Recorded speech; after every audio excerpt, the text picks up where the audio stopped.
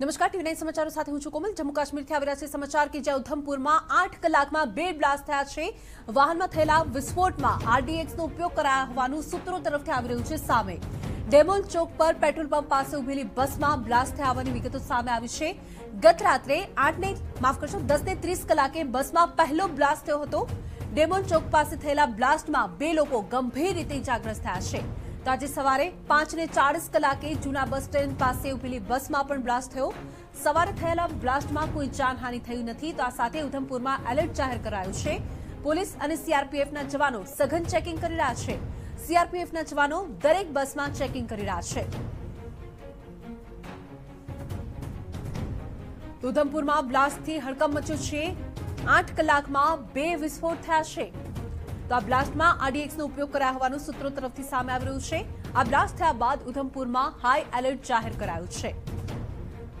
તો ગઈકાલે રાત્રે અને આજે સવારે પાંચને ચાળીસે બીજો બ્લાસ્ટ થયો. બસ સ્ટેન્ડમાં વહેલી સવારે બ્લાસ્ટ થયો છે. ગઈકાલે જે બ્લાસ્ટ થયો તેમાં બે લોકો ગંભીર રીતે ઇજાગ્રસ્ત થયા છે. આજે સવારે જે બ્લાસ્ટ થયો છે તેમાં કોઈ વ્યક્તિ ઇજાગ્રસ્ત થયું નથી. આઠ કલાકમાં બે બ્લાસ્ટ જેની તપાસ માટે એફએસએલની ટીમ પહોંચી છે. जो जो बसें यहाँ से निकली हुई हैं वो उनकी हम जो है रास्ते में ही जो हमारे नाका पॉइंट्स है वहीं पर ही हम उनको डीबोर्ड करके जो है उनकी चेकिंग कर रहे हैं।